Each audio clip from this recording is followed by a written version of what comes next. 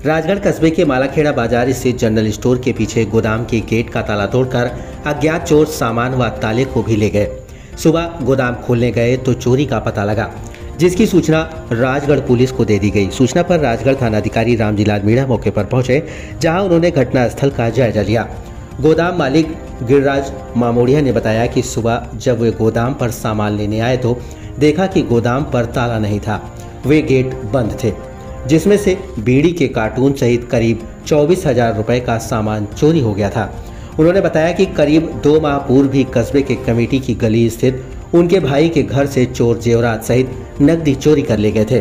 थानाधिकारी रामजीलाल मीला ने बताया कि सुबह सूचना मिली कि मालाखेड़ा बाज़ार में गोदाम में चोरी हो गई। सूचना पर मौके पर पहुँच घटनास्थल का जायजा लिया। व चोरों की तलाश में जुट गए। देखिए अलवर से भंवर सिंह की खास रिपोर्ट।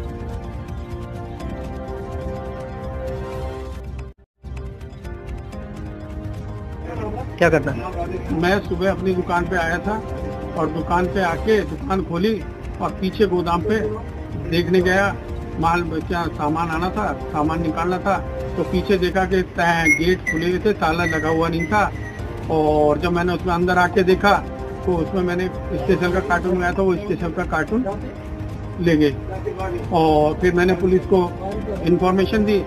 पुलिस वाले आए, उन्होंने अपनी तहकीकात की और उन्होंने तहकीकात करके अपना करीब कितने का माल है? चौबीस हज़ार रूपए का कार्टून।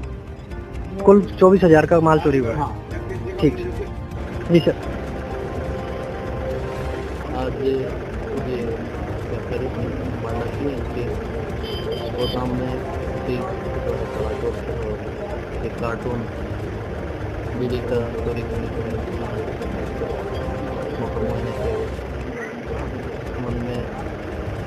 कुछ लोगों की यहाँ रात में इसके द्वारा घटना सी टी वगैरह ये देखें और तैयार करेंगे, जल्दी ही कर देखें।